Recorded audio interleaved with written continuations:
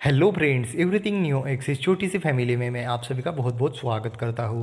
मैं आपको thank you thank you so much कहना चाहता हूँ दोस्तों, क्योंकि जो टू गुड डॉट कॉम के स्कैम वाले वीडियो मैंने चैनल पे डाले थे, उसे आपने बहुत सपोर्ट किया है तो थैंक यू सो मच उसे लाइक करके शेयर करके सब्सक्राइब करके मुझे आपने जो सपोर्ट किया है ना, उसे मैं शब्दों में बयान नहीं कर सकता। तो मैं आपको यही कहूँगा थैंक यू सो मच यार थैंक यू सो मच और अगर आप नए होते यार चैनल को सब्सक्राइब करके बेल आइकॉन प्रेस करके मुझे सपोर्ट कर सकते हैं तो आज हम अनबॉक्स करने वाले हैं मी बैंड थ्री का, जो कि मुझे सिर्फ़ सत्रह सौ रुपये में मिला है।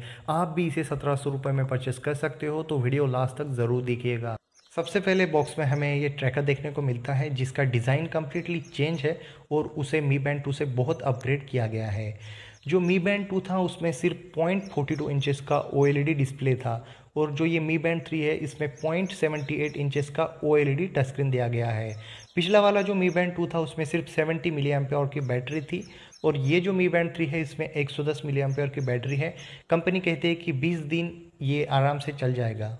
पिछले वाला जो मी बैंड टू था, उसे I P six seven certification मिला था। एक मीटर पानी में आप तीस मिनट तक उसे रख सकते थे। मी बैंड थ्री है, जो five A T M certification के साथ मिलता है। इसका मतलब है पचास फीट तक आप इसे पानी में अंदर यूज़ कर सकते हैं।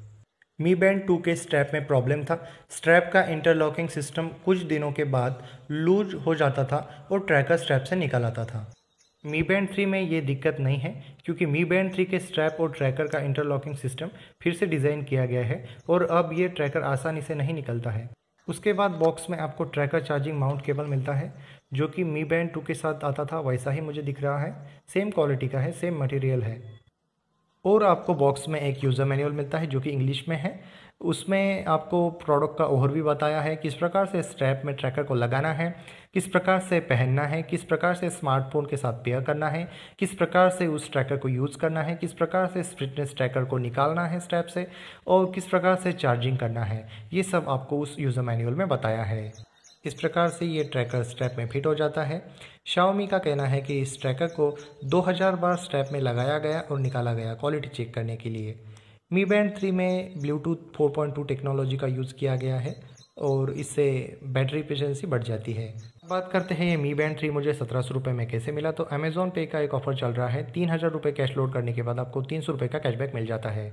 मी बैंड थ्री को ऑपरेट करना बहुत ही आसान है। जस्ट एक क्लिक करना है और ऊपर की डायरेक्शन में स्वाइप करना है।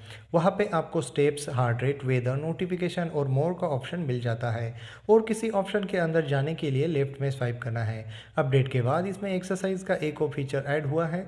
किसी भी ऑप्शन को सिलेक्ट करने के लिए आप कैपेसिटिव बटन का इस्तेमाल कर सकते हैं। उसे होल्ड करके रखिए और ये सिलेक्ट हो जाता है।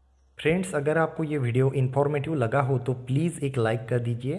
Thank you so much friends